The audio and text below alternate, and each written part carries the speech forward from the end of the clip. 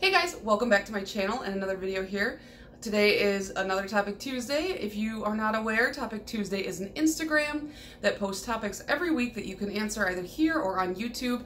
I'll have them linked down below as well as my own personal Instagram so you can go check either of those out.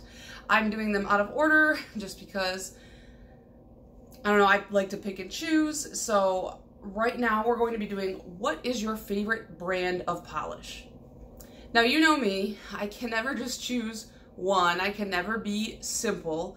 So I've broken it down into just three just three categories, that's all. So I have favorite mainstream like fun finishes, favorite mainstream creams, and then um, favorite indies. I just picked two because I don't really gravitate gravitate towards indies as far as creams go. I have indie creams, but there's never like an indie brand where I'm like, yes, I gotta buy all their creams. Because for me, creams are just a simple thing that you can get a bunch of mainstream.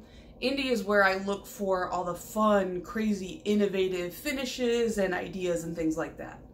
So my favorite mainstream brand that is kind of like on the crazier side or just a little bit more innovative with finishes is without a doubt China Glaze. I think that they're probably the biggest part of my collection right now.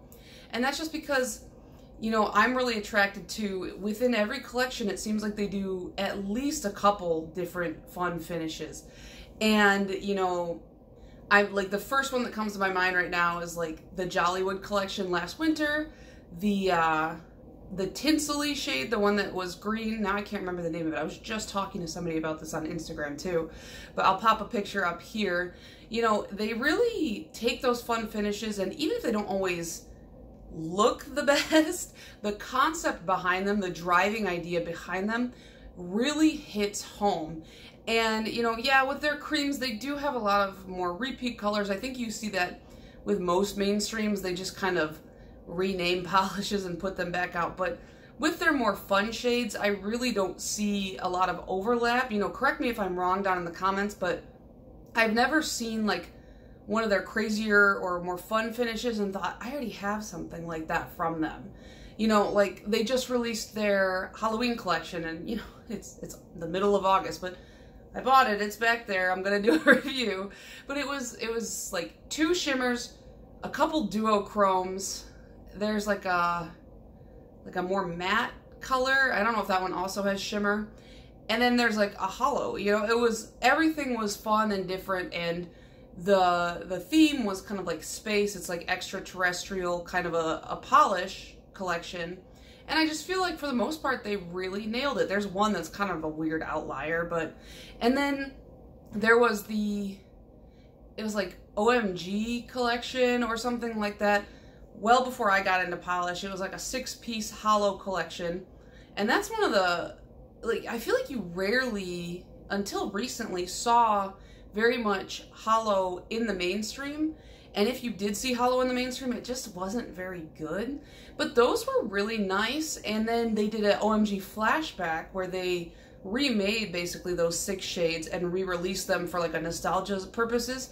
And now I have the um, I have the newer one, the OMG Flashback, because I bought that. And then I ended up getting my hands on the original. And both of them are really good, really holo packed for a mainstream. And so I'm really impressed by their quality. And ultimately, I just think it's impressive that they really seem to try to put out a lot of crazy and fun stuff.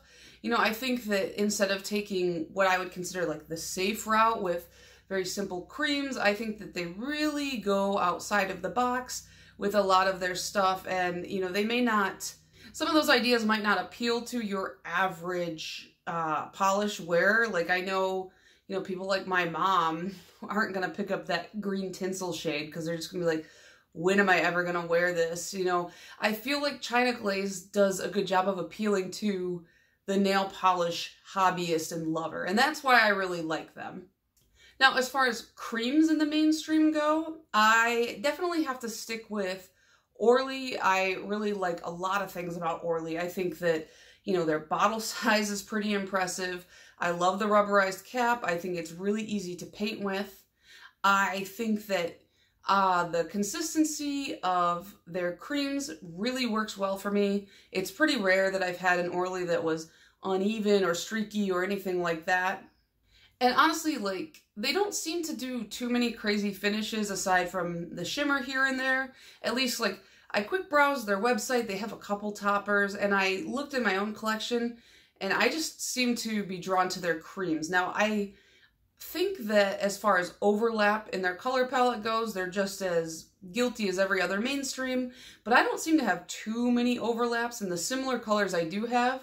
You know, I can pull them out and I'm like, yeah, these are pretty different.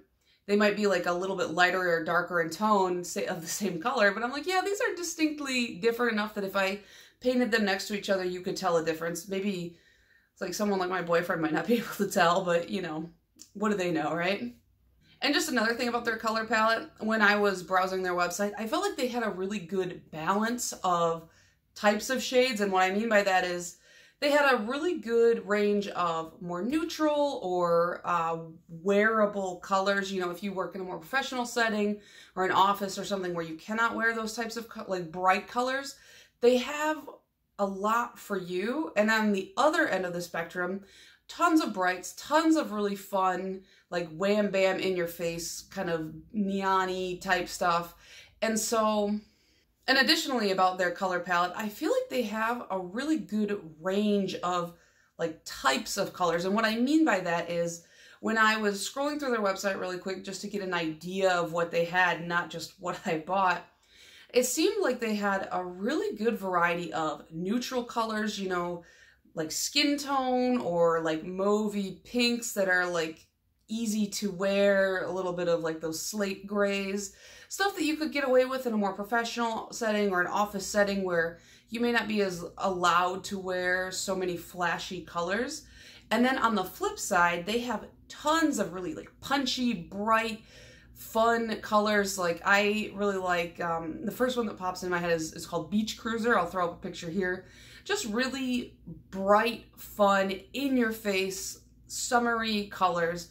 And I feel like they really like balance that well in a way that, you know, some other brands may not. Like Essie, for example. When I think of Essie, predominantly it's going to be like neutrals and more subtle. And then they have fun pops here and there. And, you know, they they do have a lot of like fun colors, but when I think of like the brand in my mind, the first thing I think of is at the store, there's like 10 rows of pink before you get into any other colors. So that's why I really like Orly. And also, I'm super interested in um, their founder, Jeff Pink, put out a memoir pretty recently. I got an email about it within the last year.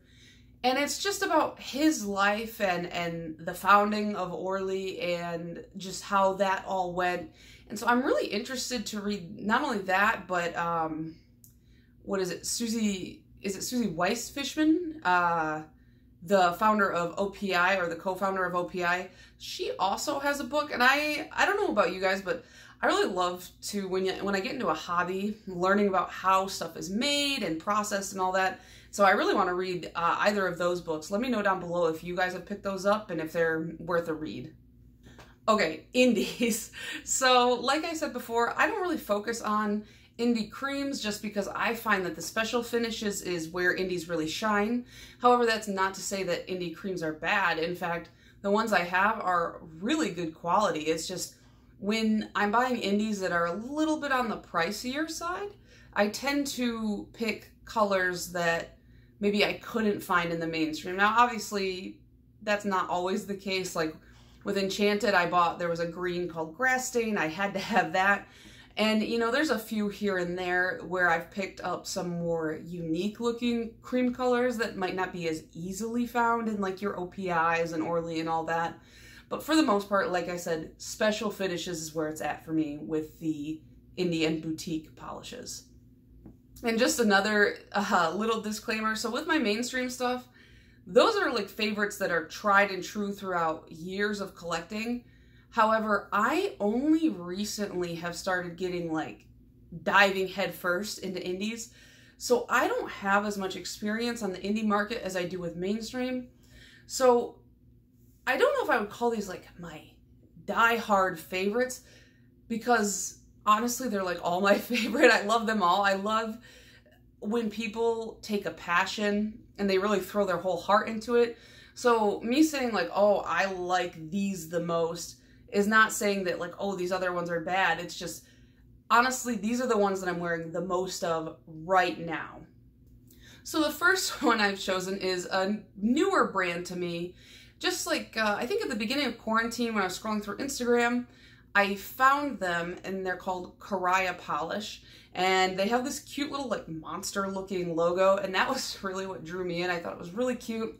Their bottle shape is kind of interesting.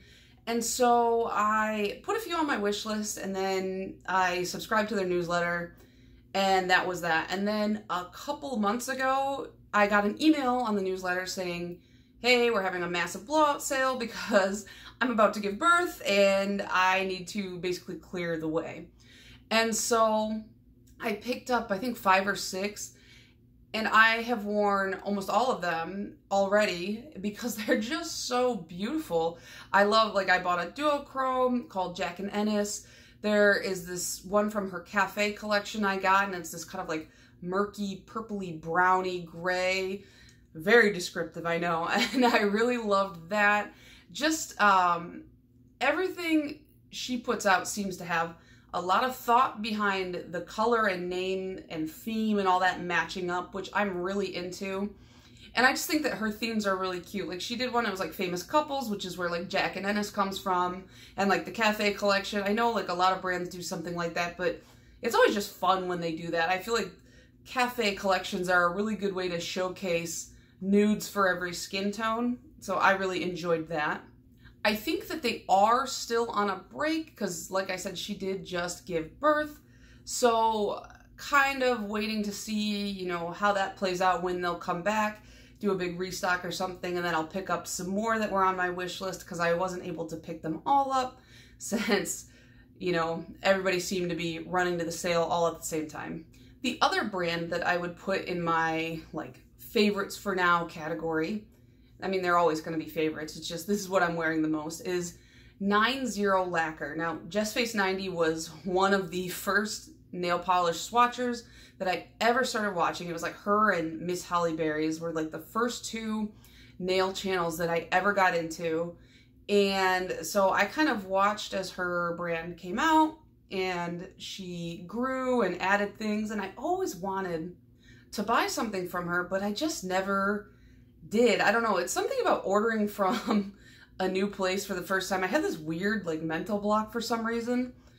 But then uh, she was pregnant and moving, and she also did like a kind of blowout clearance sale to move some stock so it was easier to move. So I ended up picking up a ton of her, what are they, the Smoothie Bar collection. I got those, and actually I did place an order before that for her Animal Crossing collection. That was really what sent me over the edge and I was like, I gotta buy this. So I have the full Animal Crossing collection. I have a pretty sizable chunk of the smoothie collection.